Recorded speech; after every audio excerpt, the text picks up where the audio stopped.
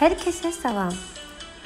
Bu gün Gülər mətbəxdə sizlər üçün bayram süfrələrimizin bəzəyindən digər biri olan paxlavanı hazırlayacağam.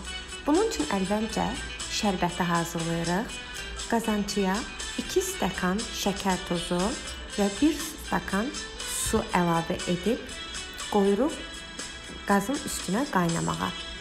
3-5 dəqiqə qarışdırıb orada qaynadandan sonra üzərinə yarım limon sıxırıq və artıq başlayırıq xəmirə hazırlamağa. Bunun üçün 1 stakan süd götürürük. Üzərinə 1 yemək qaşığı şəkər tozu və yarı çay qaşığı may əlavə edib qarışdırıb onun aktivləşməsini gözləyirik. Un götürürük, 3 stakan yarım un, üzərinə 1 çimdik duz, 1 paçka vanil əlavə edib qarışdırırıq. Yenidən ardıca 2 yumurta və həmin aktivləşəndən sonra alınan həmin südü 1 stakan süd əlavə edirik və əvvəlcədən 150 qram kərə yağı əridirik, onu tökürük və 200 qram xama. Qarışdırırıq.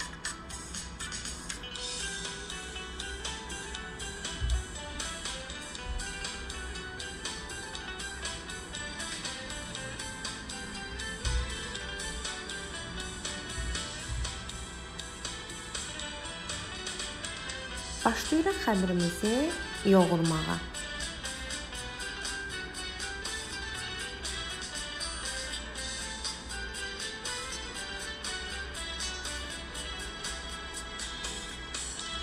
Mən xəmiri yoğuran zaman yumşaq olması üçün biraz kərə yağı əlavə edirəm xəmirə və onu yaxşıca yoğururam. Bu mənim öz seçimimdir. Siz də məncə belə yoxlasaz gözəl olduğunu görəcəksiniz.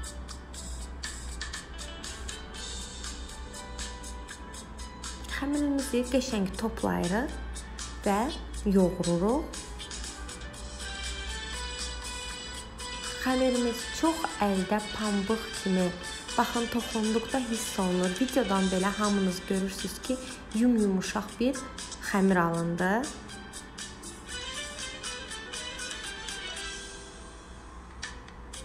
Ələ qəti yapışmır.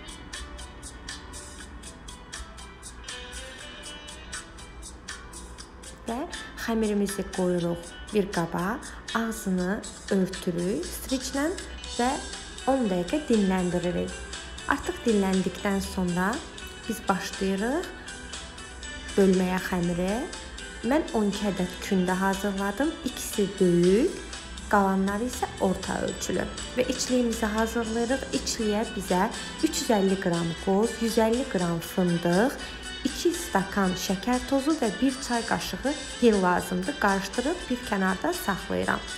Və başlayıram artıq mən kündələri yaymağa.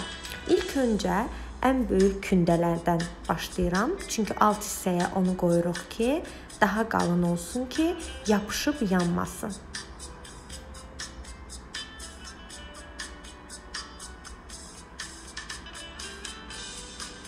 Və Qabı biraz yağlayıram. Həmin yuvarlaq listimin ölçüsündə olan kündəni yayıram. Aralarına isə əvvəlcədən 500 qram kərə yağı əridirəm. Mən bütün paxlavanın laylarının hamısının arasına yağ vururam. Kənarlarını isə bıçaqla kəsirəm ki, həmin formanı alsın. Birinci qoyduğumuz hissədə heç bir şey tökmürük, içliyi tökmürük, sadəcə yağlayırıq və üzərinə ikinci qatı qoyuruq və qatı qoyduqdan sonra yenidən yağlayıb artıq içliyi tökürük.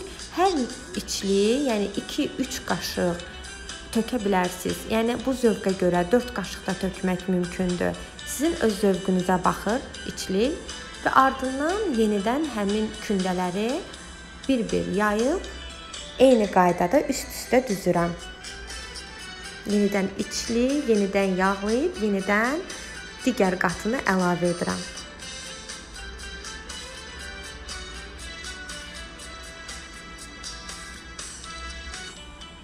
Və artıq 12-ci layımızı qoyuruq və yağlamırıq. Onu 11-i yağlayırıq, 12-ni yağlamırıq və başlayıram paxlavanı kəsməyə. Paxlavanı bu dəfə mən fərqli ulduz formasında kəsəcəm və diqqətlə izləyin. Məncə çox asandır. Baxıb hər kəs, yəni eynisini təkrarlaya bilər.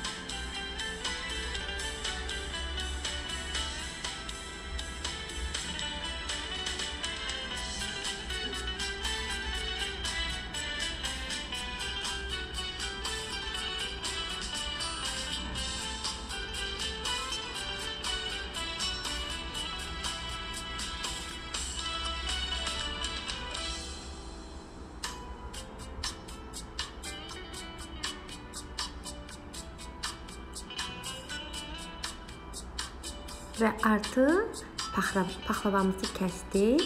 Üzərinə 1 ədəd yumurta, 1 yemək qaşığı e, duru yağ qarışdırıb mən üzərinə çəkirəm.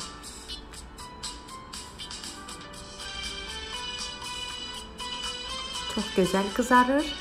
Siz də məncə yoxlayın.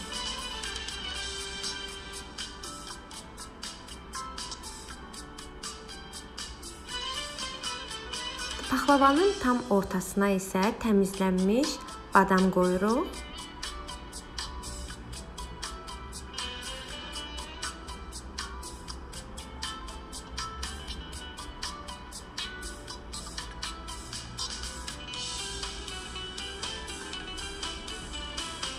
və artıq əvvəlcədən e, sobamızı qızdırırıq 170-180 dərəcədə. Qızmış sobaya paxlavamızı bişməyə qoyuruq.